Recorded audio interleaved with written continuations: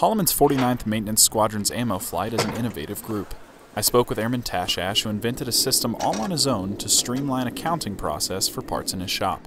So I've created a shop stock accountability system, also known as uh, ASAP. It essentially is able to track the quantity of assets uh, and also track the price of the assets. With the old system, essentially the quantities can be easily fat fingered. That's just not what we wanted.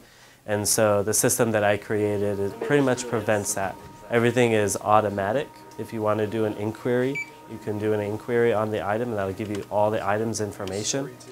You can do an audit on this system. Altogether, with the old system, it took about five minutes to remove an item or add an item. Uh, with the new system, it only takes about 10 seconds. I also spoke with Staff Sergeant Tobin, who explained how a new tablet based software saves his unit time and money. Well, beforehand, uh, we were actually having to go out to the buildings and write everything down, then having going back to our uh, shop and actually inputting all the stuff ourselves. Now, with this being all uh, in one, it's cutting down man hours of actually having to go to do the back and forth. Now it's just done all out in the building and we can essentially cut the time to what it previously was. Airman Tashash had a departing message for everyone stationed at Holloman.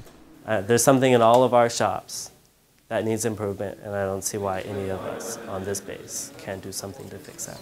Reporting from Holloman Air Force Base, New Mexico, I'm Airman First Class Jason Allred.